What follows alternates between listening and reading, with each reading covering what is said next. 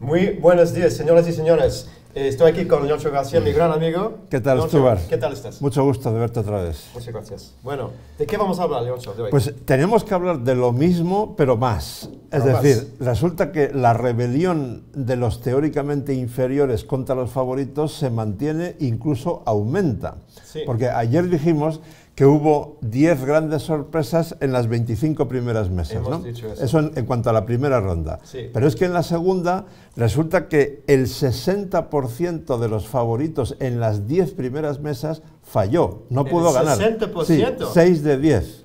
Vamos, eso es alucinante. Eh, Yo creo que son números ya que, que nadie puede decir, no, esto es una casualidad. ¿no? Mm. No puede ser una casualidad, porque es una, una cantidad de favoritos que no consiguen ganar a jugadores teóricamente inferiores eh, que es abrumador. Entonces, esto plantea un debate muy interesante, Stuart. Hace poco, un par de meses, creo recordar, yo publiqué en El País un, un artículo diciendo que en el ajedrez hay que cambiar algo. Me refería ya no a ese gran problema que yo siempre he denominado que es el cáncer del ajedrez, que es el de las tablas sin lucha, las tablas muy rápidas. ¿no? Sí. no, ahora ya hay otro problema, que es el de las tablas que, que se luchan más o menos, o, o incluso se luchan mucho durante horas, pero que son partidas muy aburridas y que son un número de empates enorme, es decir, un porcentaje muy grande de las partidas entre los jugadores de élite son tablas. Eso no es bueno para el ajedrez. Abrir hasta para nosotros. Exactamente. Mm, hombre, yo estoy de acuerdo en que técnicamente pueden ser muy interesantes para grandes maestros de alto nivel, pero para la mayoría de los aficionados son muy aburridas. Y entonces, una de las posibles soluciones, creo yo, sería hacer lo que se hace en Gibraltar, es decir, mezclar a grandes estrellas con jugadores teóricamente inferiores, porque eso prácticamente obliga a que las grandes estrellas tengan que arriesgar. Si no, pierden elo, pierden Eso es. puntos. Y al arriesgar pueden perder o hacer tablas, etcétera, ¿no? Sí, y sí, eso es lo que está pasando, más o menos, ¿no? Y eso solo puede ocurrir en un Open, también en un cerrado, ¿verdad?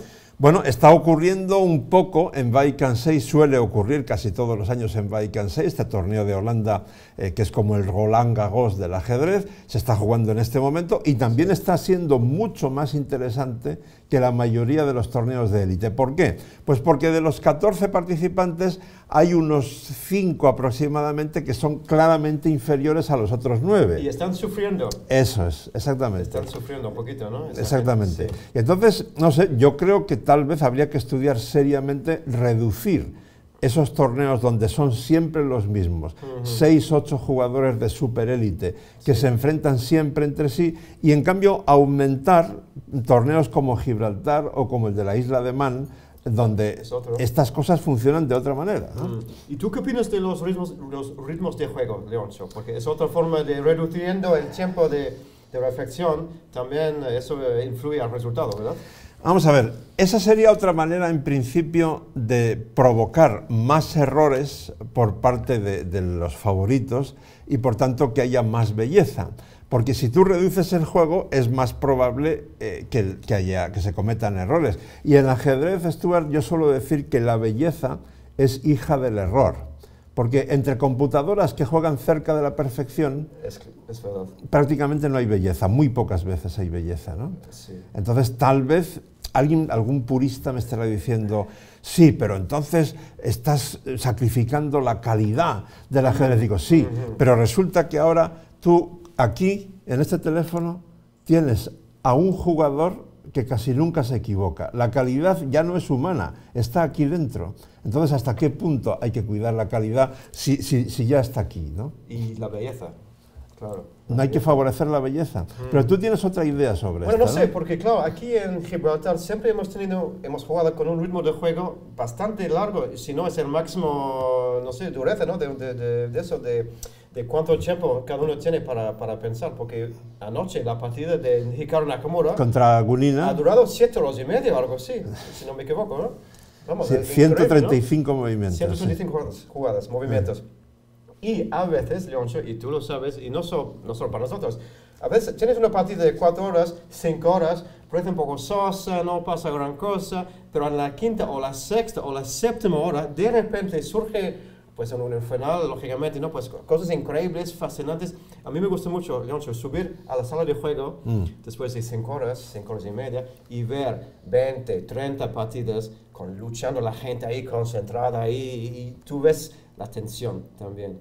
Y esas partidas también tienen sus momentos fascinantes. Sin duda. Esto que está diciendo Stuart me hace en realidad dudar sobre una cosa, una idea que yo tenía no muy consolidada, pero ahora todavía menos después de lo que ha dicho Stuart. Sí, porque yo, yo pensaba, vamos a ver, si los partidos de fútbol o de baloncesto, de balonmano, los de tenis, es muy raro que duren más de dos horas. Entonces, o una película, ¿no? Si uno va al cine, generalmente en dos horas se ha terminado. Sí. Entonces, no sería bueno, desde ese punto de vista, que un torneo de ajedrez dure seis o siete horas. Parece más lógico que dure dos o tres. Pero lo que dice Stuart también tiene mm, mucha fuerza, porque si tú vienes a Gibraltar a pasar diez días, digamos, sumergido en el ambiente de ajedrez, tú no quieres que la ronda dure dos horas. Quieres que dure cinco o seis Claro. para disfrutar mucho más Es tiempo, ¿no? Es cierto, ¿no? Entonces, el asu- esa parte del asunto... Es gris, no es ni negro ni blanco, es Exactamente, es es, no es tan sencilla.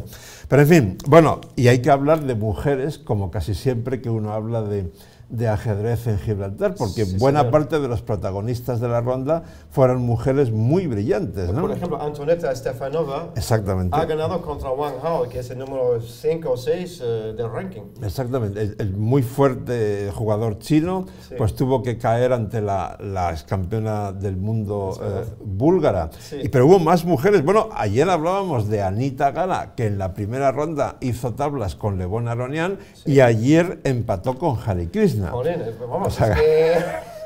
En el, vaya, torneo está haciendo, ¿eh? en el salón de la familia Gara de Budapest ya van a tener que empezar a poner fotos y más sí, fotos sí, de sus hijas, ¿no? Las, las van a recibir en el aeropuerto de Budapest ahí con, no sé, una banda musical y todo, ¿no? Vamos, el presidente tal vez. Exactamente. Y hay más mujeres héroes. La rusa Goriatskina hizo tablas con Ivanchuk, lo cual no es nada fácil, como ustedes pueden suponer. Y me permito recomendarles una partida que todavía no he publicado en el momento en que, en que grabamos esta, este vídeo, pero que en pocas horas estará en mi columna del país. La partida de la kazaja Sadvakasova contra el húngaro Banus.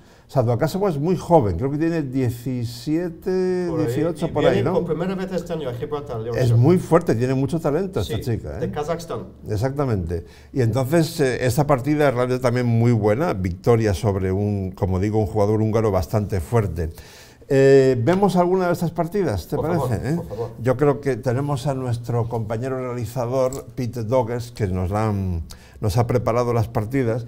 Por ejemplo, en la de mm, Nakamura contra Gunina, eh, están viendo ustedes de la posición después de la jugada 29 de las negras. Las negras acaban de jugar torre E7. Fíjate, Stuart, aparentemente las negras están defendiendo todo muy bien. El punto H7 está Sí. defendido por el caballo de F8, el de F7 por la torre de E7, el caballo de D5 bien defendido por el peón de E6. Todo parece que está en orden, Sí, pero sí, no, porque entonces esta jugada lo estropea todo. Bueno, bueno, a ver, a ver qué pasa. Porque si mueves la torre de E7, entonces sigue caballo de 6. Y entonces, después del caballo de 6, la presión ya sería tremenda. Entonces Gunina eh, toma el caballo, pero ahora el, el problema es que después de torre de 4 viene eh, otro golpe tremendo. Aquí, de hecho, eh, Gunina en vez de torre de 4 debió jugar primero G6 y contra dama H6 solo entonces torre de 4. cuatro. La diferencia está en que después de torre de 4 viene E6. Una jugada tremenda. Porque ahora, ahora no hay buenas jugadas. Eh, eh, no, no se ve ninguna, ninguna buena solución ante, ante las amenazas de las blancas. ¿no? Eh, Gunina optó por jugar F6, que parece lo mejor, pero entonces una auténtica bomba. Dama Jaque. F7 jaque. Sacrificio de dama. Se llama muy bien calculado, porque hay que calcular bastantes eh, variantes. La torre come. Torre por F7, G por y torre E8. Y ahora, eh, bueno, hay que hacer sitio eh, contra ese rey. Primero dar el jaque en parece D1. pleno de belleza, casi. Eh, sí, peón por, torre por, dama por. Y bueno, aquí la partida siguió hasta, como decías tú antes, hasta 135 jugadas. Las dos torres valen un poco más que la dama, Sí. Eh, pero técnicamente es muy complicado. Y de hecho, eh, bueno, al final Nakamura tuvo que hacer un trabajo técnico dificilísimo Sí. para poder ganar esto en 135 movimientos. Pero esa combinación eh, era la que, la que yo quería demostrar. ¿no? Muy bien. Bueno, eh, vamos a Duda Christiansen, eh, que, que es una, mm, una miniatura casi. La verdad es que la, la partida duró muy poco. Y después de la jugada 15 eh, caballo por E5, eh, eh, Duda hace un ataque tremendo que tiene que ver con uno de los temas que mostrábamos ayer. Ayer hablábamos de la dama cuando la dama está lejos de su rey, ¿no? Yo, Fíjese- Leoncio, estoy viendo, pero yo estoy viendo la columna H. Exacto. Sí, eso me da mucho miedo, ¿eh? Por supuesto. Pero mucho. La columna H abierta, que en principio el punto H6 está cubierto por la dama de B6, ¿no? Sí. De momento, pero fíjense lo que va a pasar. Duda jugó alfil por H6, sacrificó ahí directamente el alfil y después de alfil por H6, dama G5. Ula. La amenaza caballo F6 jaque, Sí. obstruyendo la defensa de la dama sobre H6, es muy fuerte. Entonces hay que jugar F5. No hay más remedio que jugar así. Pero entonces viene dama E7 jaque y contra rey G8 esta jugada es un cortocircuito. Ahora la dama negra ha quedado completamente desconectada. Sí. Y De- estoy viendo el, alfil G2 que va a venir en D5. Exactamente, exactamente. Eso es muy, un detalle táctico muy importante. Y bueno, aquí ya las blancas Eso es están, matanza. están, exacto, es una, una masacre. Eh, después de alfil de 2 jaque, para que la dama negra no entre en B2 con jaque, ahí. entonces rey F1 y abandonó. Y el alfil negro en C8, Leoncio. Un Exacto. poco triste, ¿no? Es un, como un peón gordo, es un, un adorno, un ornamento que hay ahí en, en C8. ¿no? Y por último, muy interesante la posición casi final de la partida de Boris Gelfand con negras contra el chino Xu, porque aquí Gelfand llegó a la conclusión de que no tenía nada mejor que hacer tablas con torre por B3, A por B3, dama A1 jaque y tablas por jaque continuo. ¿no? Vale. Bien, pero resulta que él estaba ganando en esta posición. Él podría haber jugado aquí D5. D5 es muy fuerte, porque la respuesta lógica sería caballo por E5, pero entonces C4. Y esto destroza todas las defensas de las blancas. ¿Por qué? Porque si las blancas ahora tomasen en C4, entonces después de D por C4 Sí. viene torre E8 y ahora las blancas ya no tienen D4, que era la jugada que antes defendía el caballo. Bueno, tiene F4 tal vez. F4.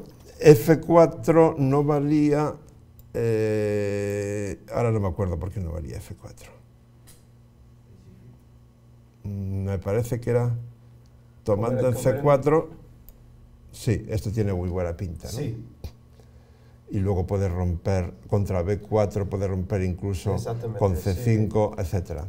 Y bueno, eh, la- hay muchas variantes bastante complicadas, no vamos a mostrarlas ahora todas, pero Gelfand ganaba, pueden ustedes comprobarlo con sus tableros, ganaba el- justo en el momento en que decidió Y firmó hacer tablas tablas. aquí. Firmó tablas y como consecuencia de esto, el único de los ocho primeros cabezas de serie al principio del torneo que tiene dos puntos es. Nakamura.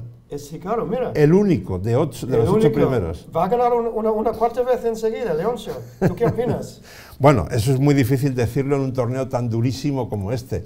Lo que puedo decir, y así de paso eh, citamos a los jugadores de habla hispana, Sí. que si no se enfadarían con nosotros, es que hay algunas malas noticias. Por ejemplo, que David Antón perdió ayer, pero en fin, fue en la segunda ronda, todavía quedan ocho para que se Claro. recupere. Pero hay dos argentinos que están con dos puntos y uno de ellos juega hoy en la primera mesa, Pérez Ponza, contra Nakamura, Contra Nakamura. precisamente. Y luego en la mesa 17, Peralta juega contra el indio Bancatesh, o sea que estaremos especialmente atentos a, Claro.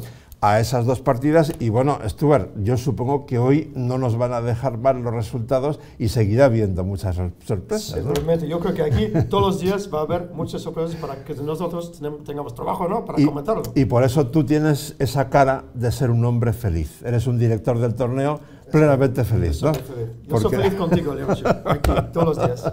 Hasta mañana. Muchas gracias. Hasta Gracias. mañana. hasta hasta mañana. Gracias.